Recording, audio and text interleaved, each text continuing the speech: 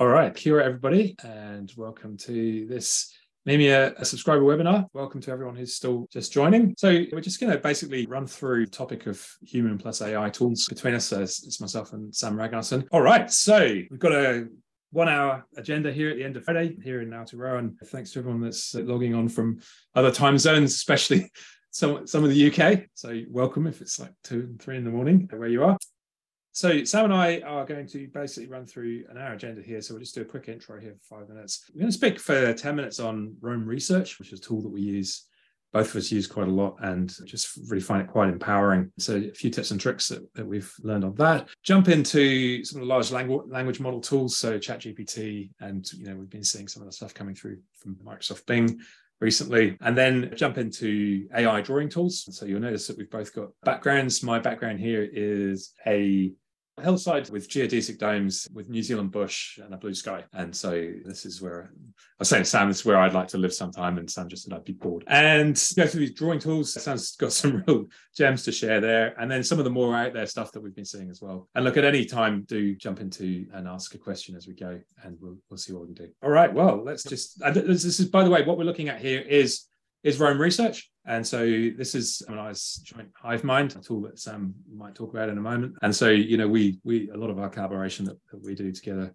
we use this graph here. And it's yeah, so so we've sort of stripped down a little bit, but you can see that the graph sort of gets, you know, sort of knocked down into a shape, and then you can see all the pages laid out like that as well, and just jump in.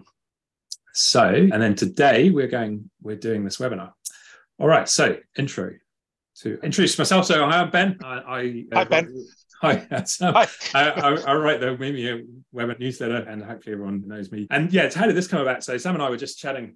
Uh, we sort of catch up together quite regularly, and uh, we're just chatting about some of the AI tools we're using. And then we went down a rabbit hole, and about you know an hour and a half later, we came up and went, "Oh, we should probably share this because this is uh, you know I've learned a lot." And this is the first time we've done a Zoom webinar, so we're winging it. So please bear with us, and any gremlins we'll try and sort out.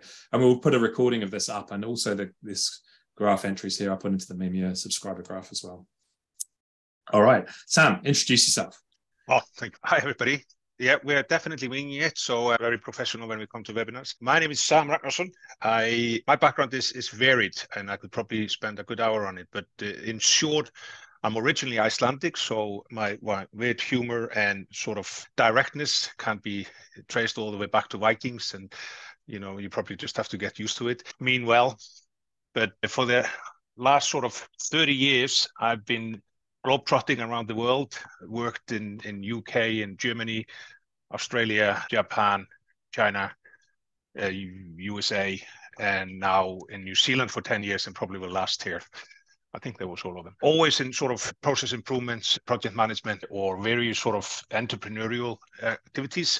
Started and, and run into the ground several companies and and all of that. But probably since I came here, beside my entrepreneurial part, I've been concentrating on uh, being a consultant, I guess, and being in various places, often in, in council and stuff. And in the last two years, I really got into the space of, of being uh, in central government, doing sort of data alignment and, and, and such things. Mm. So I think I will let that do and, and, and move yeah. on and people can just ask. It sounds very modest. So one of the most innovative people I, I, know and I've worked with. And yeah, he is very direct. But and I think you probably understate a lot of the value you're creating at the moment, just working across you know the combined environmental and aggregate primary industry space at the moment in Aotearoa, you know, sorting out some of the data sharing issues across there. So yeah, quite look quite look forward to maybe spending another session where you can talk a little bit more about that. Oh, better, yes.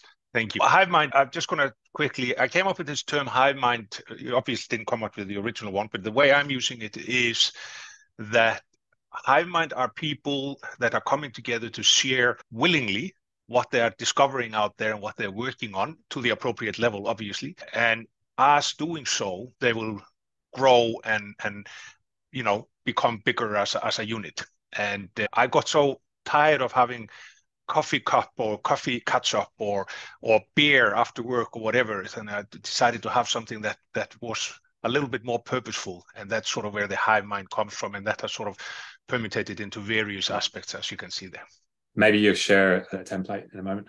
Um, and uh, yeah, just catching up for beer is something that neither of us can do anymore because we're we're both off the source since uh, the beginning of the year. Right. Oh, since just a month ago for me. Right. Here we go. Right. Roam research. So we are looking at Roam research on the screen. And this is a page that I've put together. And so, what is Roam research? Well, um, it's like Fight Club. You're not allowed to talk about Fight Club, so we're not allowed to talk about Roam research. It is a superpower. I, w- I would describe it as. It's a way of you as a user to basically take everything you've been thinking about and to externalize it. So it's like an exocortex of your brain. So I've been using it for over two years now, and pretty much you know increasingly anything that's gone through my brain you know and I, I process a lot of data and patterns every day uh, is is sort of logged at a very high into Roam so I can come back and I can search and I can find connections between it. Basically underlying the whole system is this graph database structure and very very very quick demo. It, you're able to basically create pages as you go. So you know today we're talking about and then you open use a square bracket notation generative ai Yep. And then we go there and I can go to generative AI and there's a new page. And so examples of, gener- of examples here are sort of like GPT-3 and Bing uh, and you know some of the others we look at Synthesia one we might look at later on. And then I think yeah, I can just look here. Yeah, and then I, but then you can basically, you can see here that this is linked back to my daily page here. So, you know, this is linked back to the page and then you've got, so there's all these backlinks throughout the whole thing.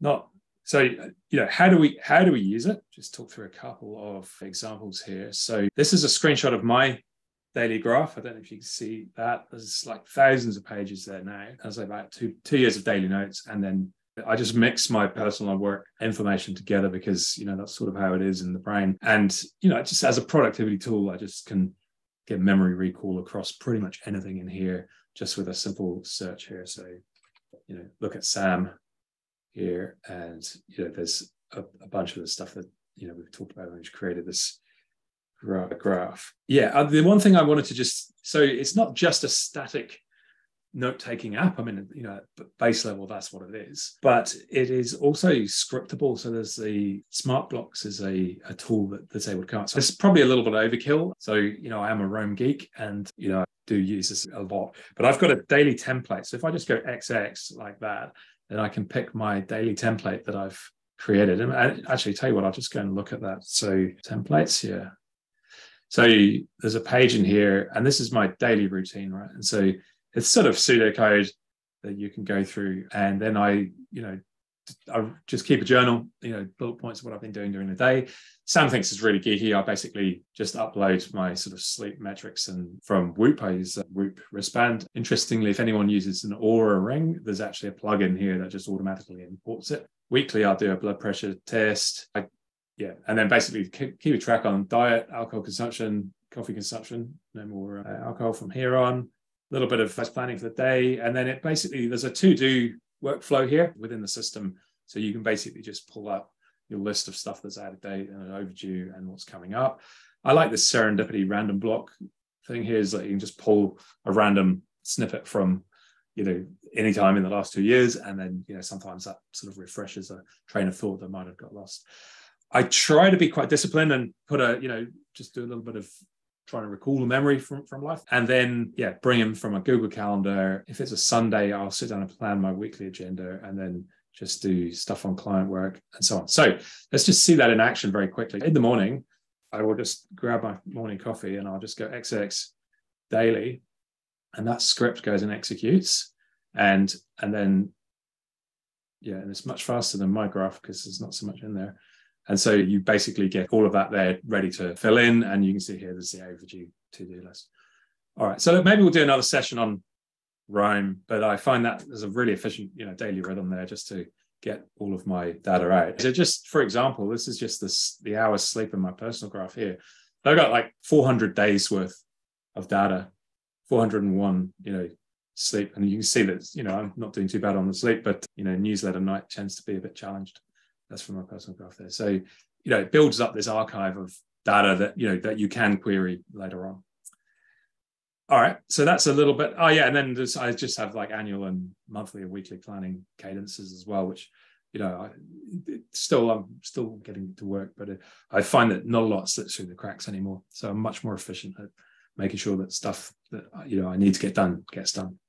All right, Sam, you're going to demo your stuff. The only other thing I was going to demo was uh, Roam AI while we were on my screen, but it, we were just both trying to get it to work, and somehow the API is gone. But yeah, so there's another. It's QQ, isn't it? Yeah.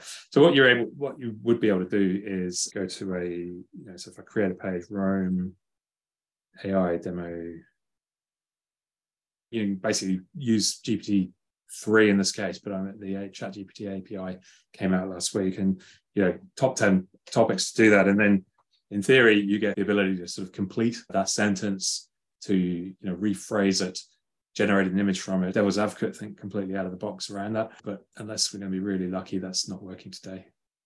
So there's something wrong with the API keys. All right, so I'm going to stop sharing. In fact, no, Sam, I think you you're just going to talk to this. Right? Yeah, to begin with, I just want to make clear that we are not getting paid by Roam Research yet. Yeah, uh, there's some alternatives, Obsidian yes. and Logseq in particular. Yeah, so I've used Logseq a bit. And, you know, uh, like you say, Brad, the advantage of Roam is it is online. And actually, they do have an encrypted storage capability now, which is great, but it does slow it down quite a bit when the graph gets very big. And yeah, Logseq yeah. definitely is local only and it's very, very buggy. Yeah, but I think it doesn't really matter which tool. I think these tools are now getting to a stage where they really allow you to go to the next level. I remember when when when Ben showed me this tool, and he he's the he was the one who showed this to me two years ago almost, and uh, it was like it changed my life overnight. I mean, I'm not even saying that lightly. Finally, I had found a tool that allowed me to, you know, park every single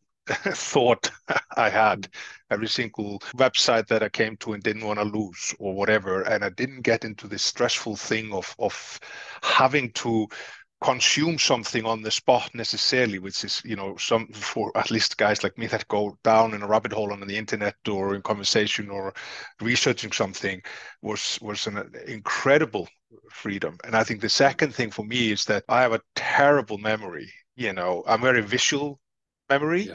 and I just I can't remember people's name unless I've seen them in an email or if I've seen them or written them or done something. And and it's sort of I, I, can imagine it's like maybe some dyslexic people feel about something. You know what I mean? It feels a little bit like you are there is something you feel nervous because you mm. can't remember something or you you you met somebody. So really, Roam has allowed me to capture meetings, people I meet, and then before I meet them again, if I'm not sure about anything, I can just bring it up and and and just because of the visual thing, I start remembering the conversation, and because I went through the act of recording it. So for me, that's just been absolutely amazing. It's my second brain, and but I think another thing though, especially when you look at the anal retentive crazy person as Ben with his graphs there, you know, don't think that to use something like this, you mm. have to be using it to that level and not.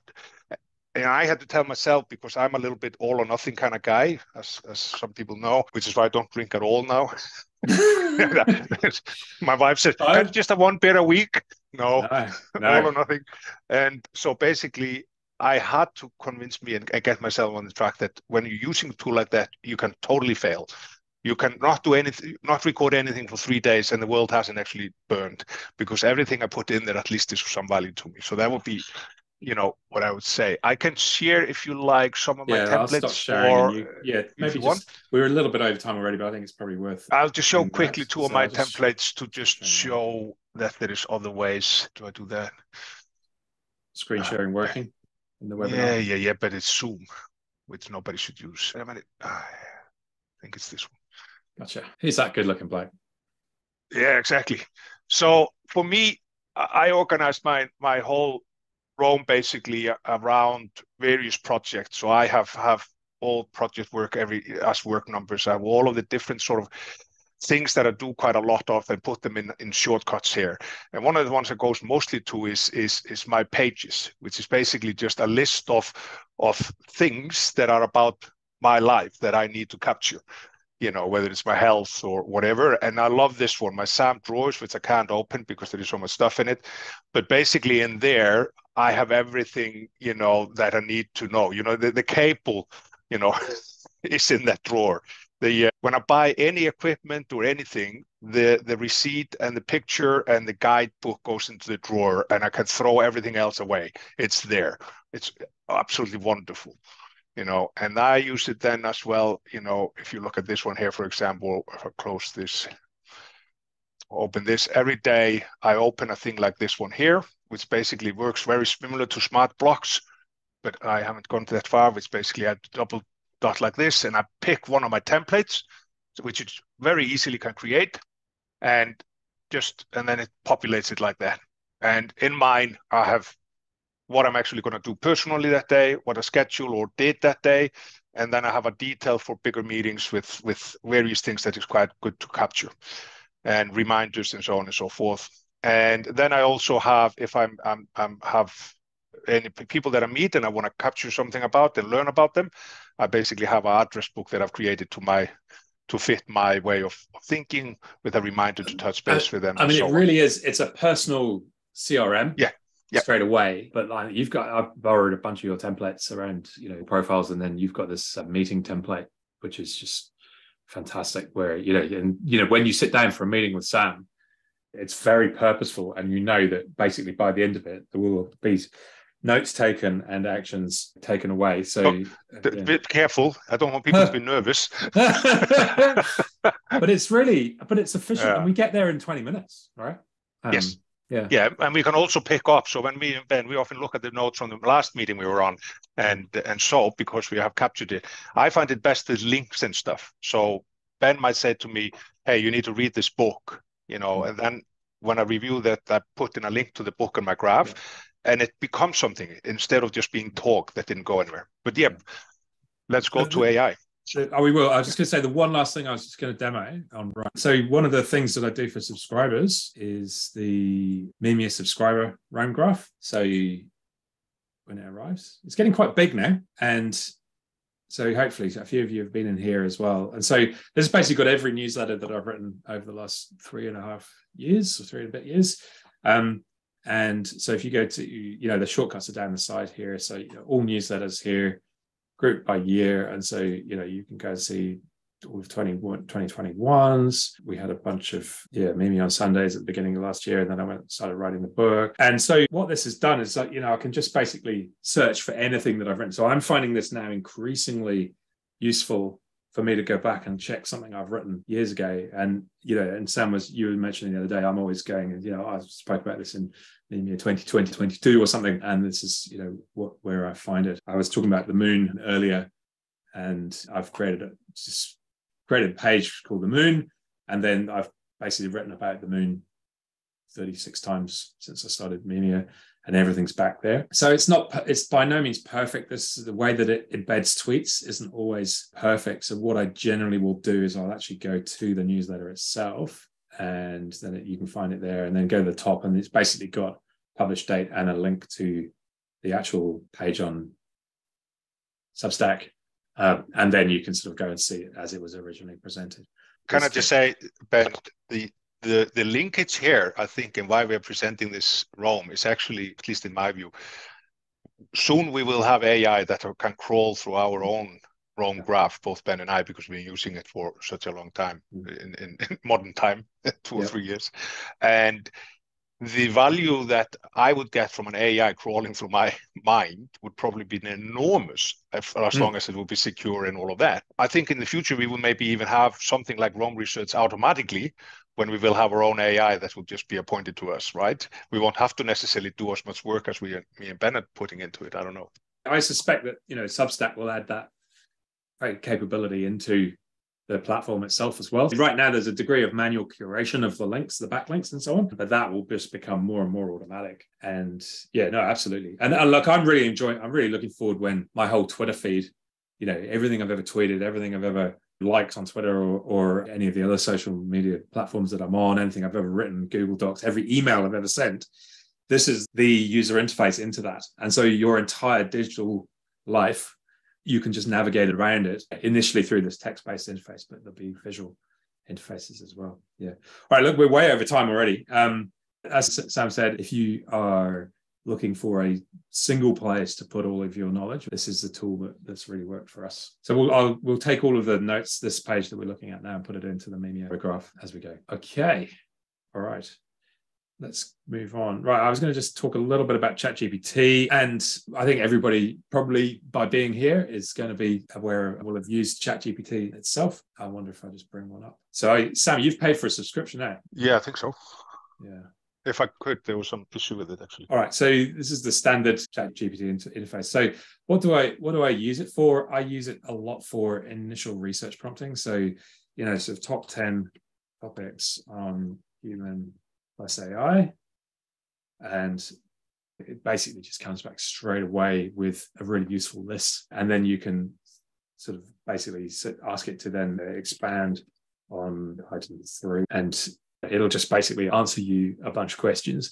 And this is obviously based on training across the entire body of human knowledge. And then they added this stop generating mimic. It's like, yeah, okay, enough already. It's fascinating, you know, as a new user interface. And so Microsoft have taken, as far as we understand, about 49% of OpenAI, the company that's put it out. And Microsoft are basically, you know, pushing it out as part of Bing now with a view to going up against Google for search. The challenge we've got with this is that it, it is quite hallucinatory. And so you can ask it to basically a question and it can't, you know, find the answer or isn't quite sure about the answer, it'll write something with this extremely confident voice that uh, is actually not true. In fact, I saw an exchange from a academic the other day where someone had contact, emailed him and said, "I wonder if you could send me a copy of this paper that you've that, you wrote entitled, you know, some something obscure." Because I never wrote that paper. He goes, "Oh, I should probably stop using ChatGPT to do my research." Just one example. In terms of using it for as a writing tool, again, it's got a factual and considered voice. I, I have used it in places. It, it, it doesn't certainly doesn't feel like an authentic voice with me. So again,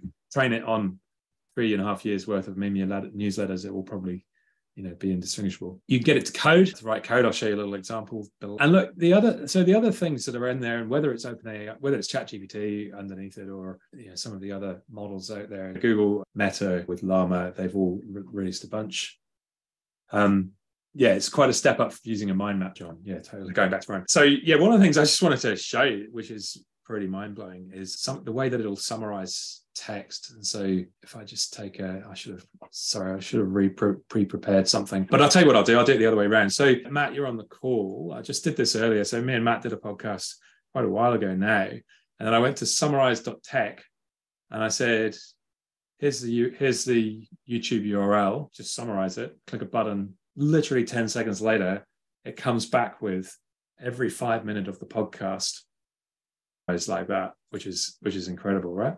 So what I, I might try and do is then take that whole section here and let's see if I can break chapter chat GPT. Please summarize the post. Paste. See if it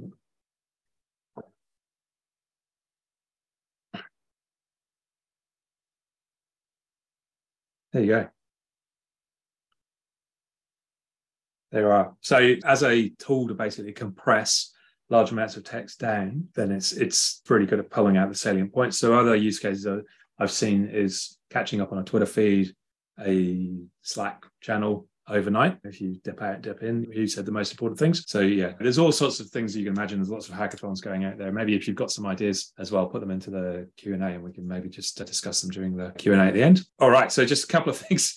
A couple of crazy examples. Ah, this is amazing. Sumplete. ChatGPT. What new puzzle game should I try if I enjoy Sudoku? And it gives you a list of the existing ones. But could you invent me a, a logic puzzle like, you know, similar to Sudoku that doesn't currently exist? Yes, it can. And it sort of creates this Sumplete, which is like a seven by seven grid filled with random numbers. And it goes, all right, well, can you please code a playable version of this using HTML and JavaScript? And it writes the code for it. And then it works, apparently. and then 30 seconds later, it's like add CSS and it does does that. So, you know, as a productivity accelerator in certain use cases, it's going to be just mind-blowingly powerful compared to what was there before. I think there'll be a fair amount of error correction involved in in that use case. Just another couple of things I've I've enjoyed here is one where it's basically writing a legal brief for the rights of sentient AI, and then also here it's basically suggesting research and then suggesting who, who are the experts in this field effectively who would be peer reviewing that research. So it's going to introduce lots of new security traps. Sam, you had an interesting use case that your daughter's been using it for.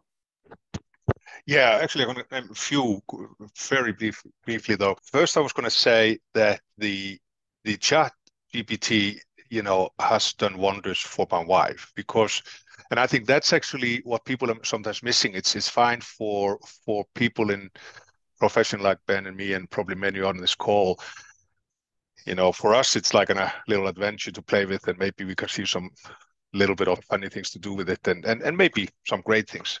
My wife, she is born in China, and and you know, English is her third language, and she's working in an engineer company as a marketing specialist, right, or or coordinator.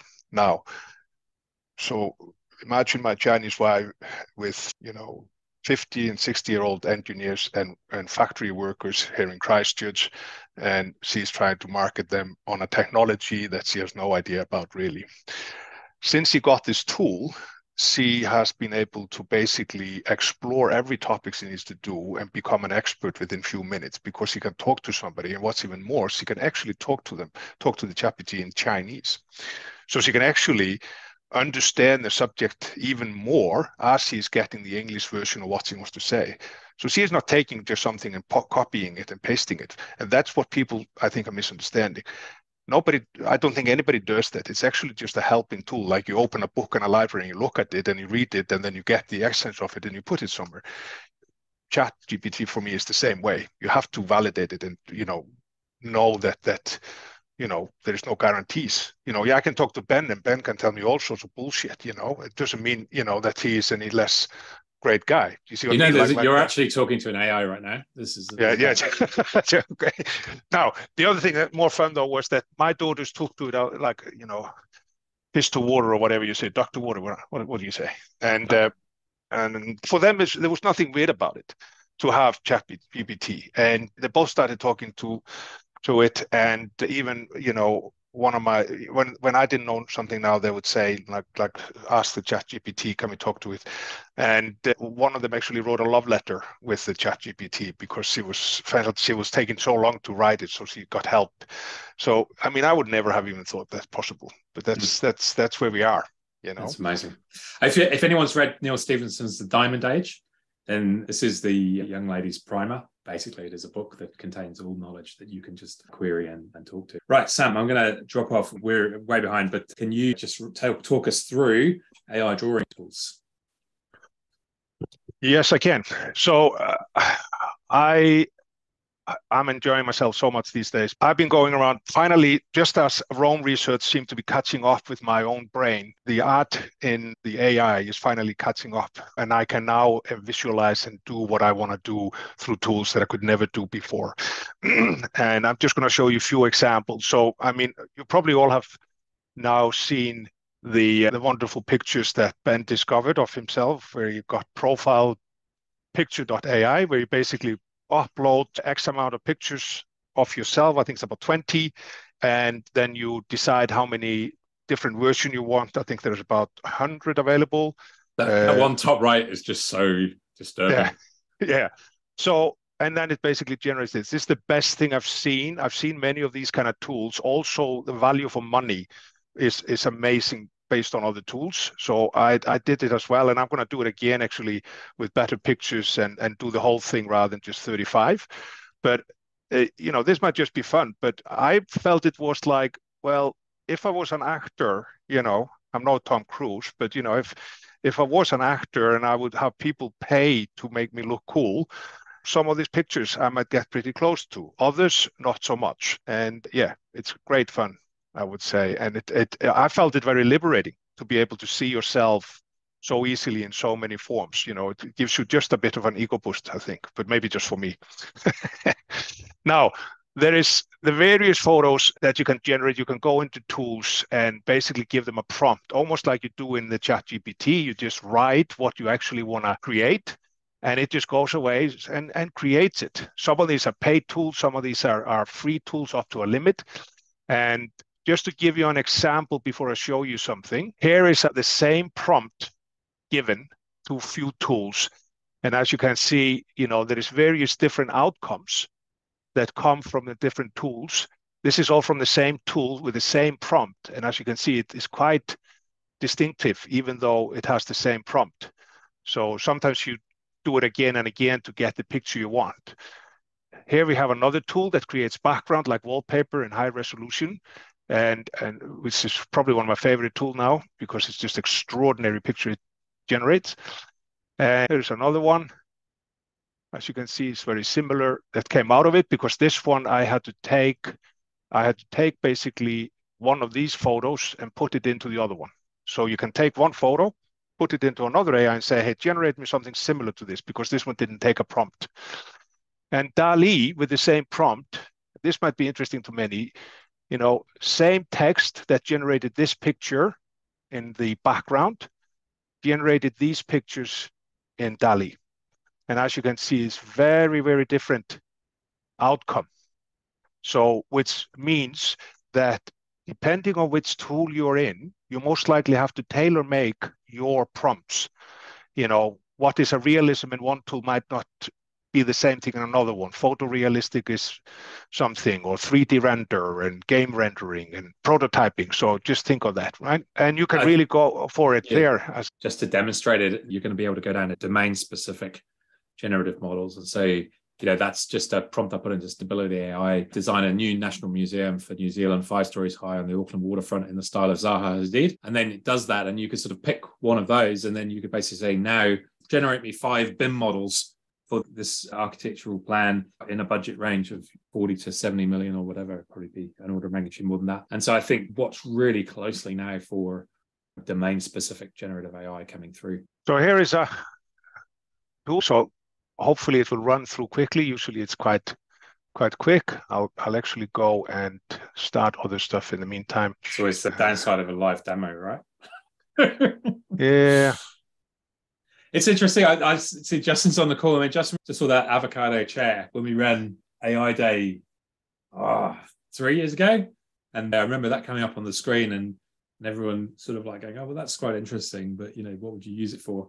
And now in just two, three years, how far it's come on. Actually, I didn't see Ronan and Jaya as well on the call. You know, I think you actually introduced me to AI art back in 2017, I think. Slug, slug puppies there's something you can Google when you're not on a work computer. So. so I'm just quickly putting in here. I think that this link you will be able to share, Ben. This link I think is saved. Yeah. So now I have generated some New Zealand landscape I said with spaceships, right? And uh, then I go into my DALL-E and uh, basically pick the same one that I just did, if I can find it now. Where did I put it? That's always my AI.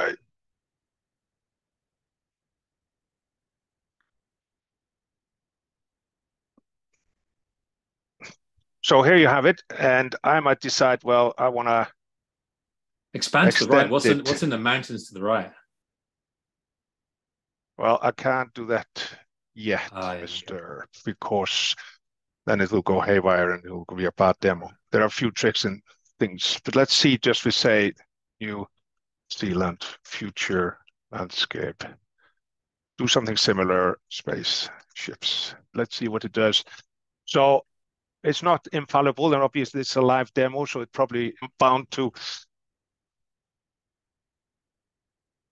Well, look at that. Isn't That beautiful. I so, want to see a mo. I want to see a moa in the foreground, Sam. A what? A moa. A moa. Okay. An MOA. Yes. A mower. Yeah. So maybe just on the bottom right there, where there's those that right in the foreground. Yeah, so I'm, I'm supposed to be able to basically now go and do an eraser. Yeah. I'm actually going to download this first and then take an eraser. Yeah. And do like this here. Sometimes that works, sometimes doesn't. And what do you say? MOA? Uh, yeah, a MOA. M-O-A. M-O-A. Yeah. And that's it? Yeah. All right.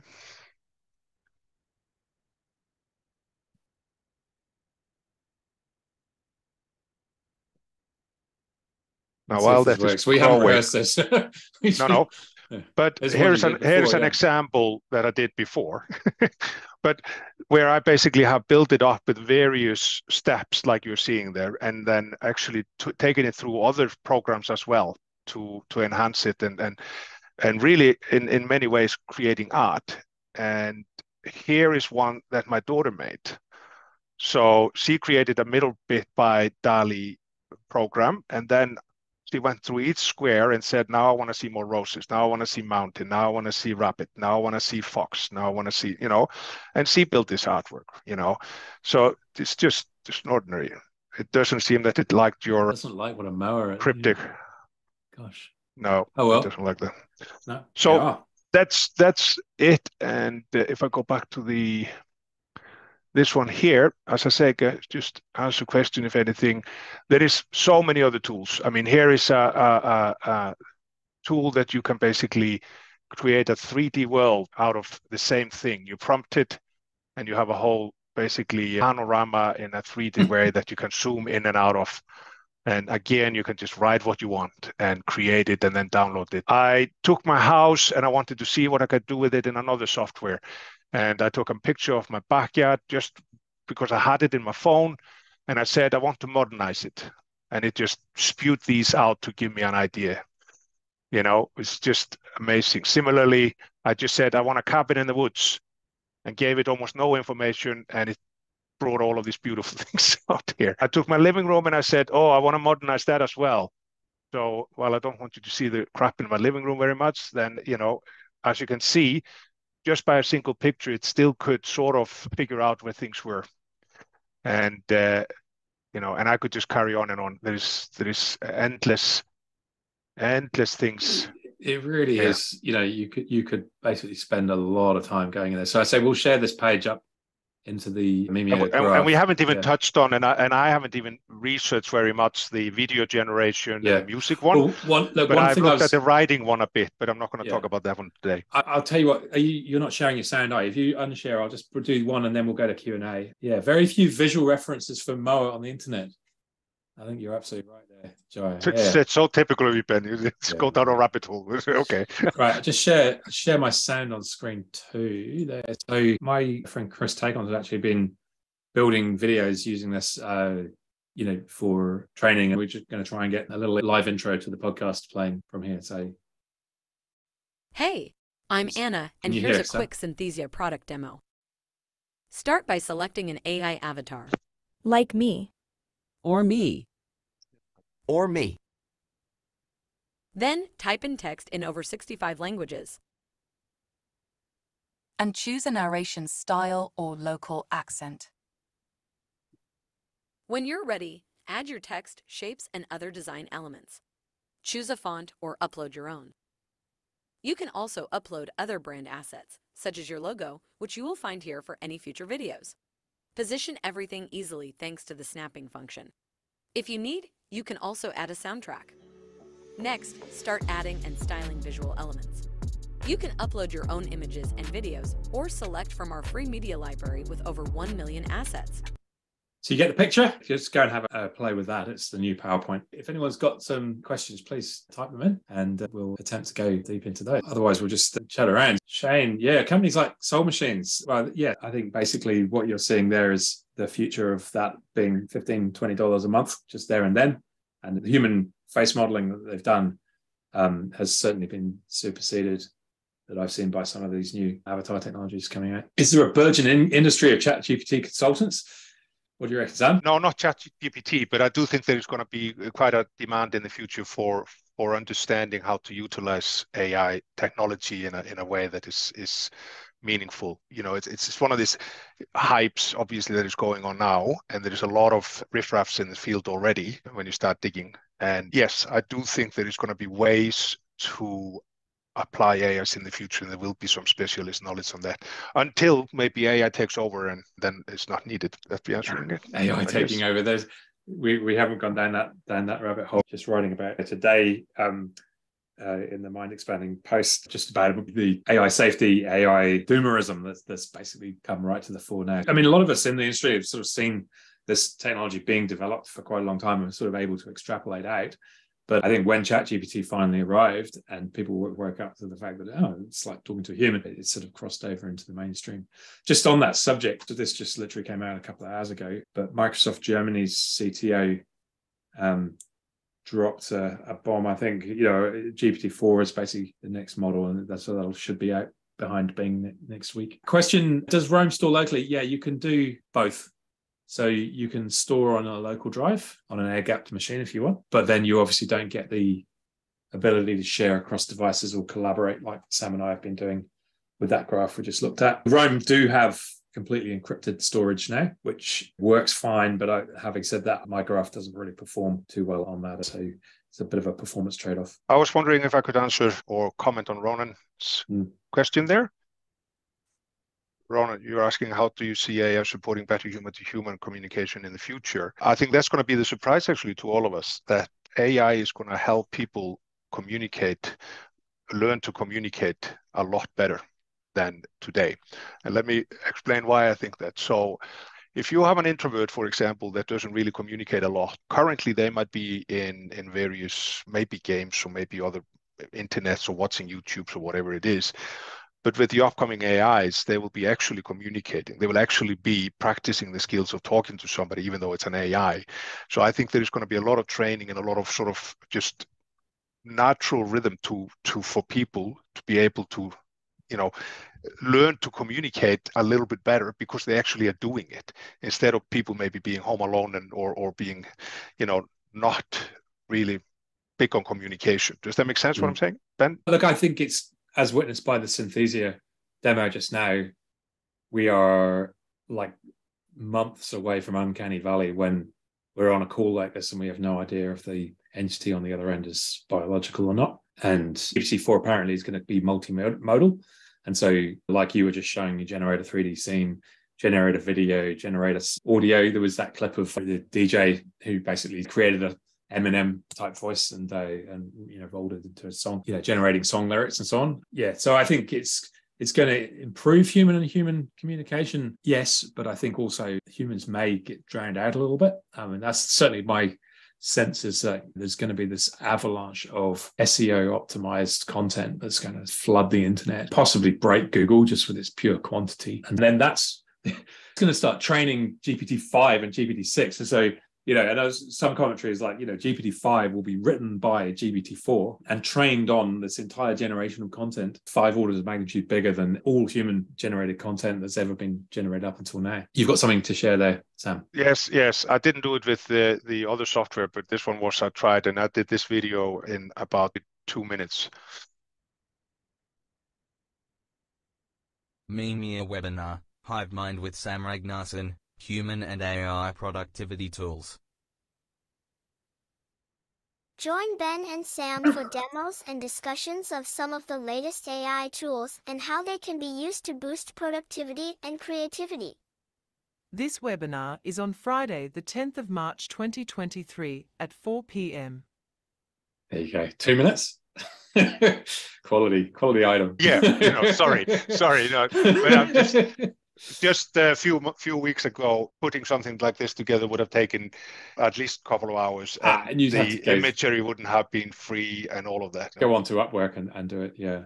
So there's a really philosophical question to ask here: is what is the role um, of biological humans in this AI rich future and will the traditional economics that we know and love around capitalism i mean one of the interesting questions eh, who owns it and who controls it. And so right now, ability to train one of these large language models lives with maybe five to 10 tech giants around the world, well, exclusively in the US and China, basically. And OpenAI and Microsoft can control access to all of their GPT models. I know that I know that sort of Meta's Llama was open sourced and Stability AI, you know, has been open sourcing Stable Diffusion and you know, so there's some other open source language models, but yeah, the, the quantity of GPUs required to train these goes into the hundreds of thousands, if not the millions, for each training run to get the, the weights. So most of us on the call, right in the far corner of the South Pacific, I know there's uh, some others are coming in from the other side of the world, but it does raise a question on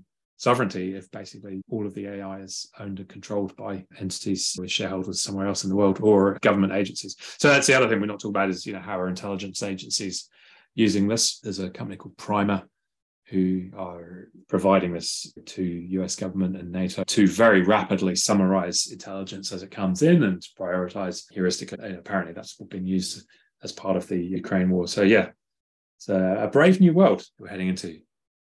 And look, I think we've pretty much come to the end of our hour. I hope people have enjoyed yeah. it then. And it'd be good to get feedback. We, we're thick skinned. Yeah. Thank you very much. And yeah, maybe this is something um, that we could put on a little bit more regularly this time on a Friday to finish the week off. And there's plenty of content in the newsletter every week to run through. All right, we'll put a recording up and we'll put the the pages that we've run through there into the subscriber graph. And yeah, anything else that you want to communicate, just email myself and Sam and have a fantastic weekend. All right, cheers. Thank you guys.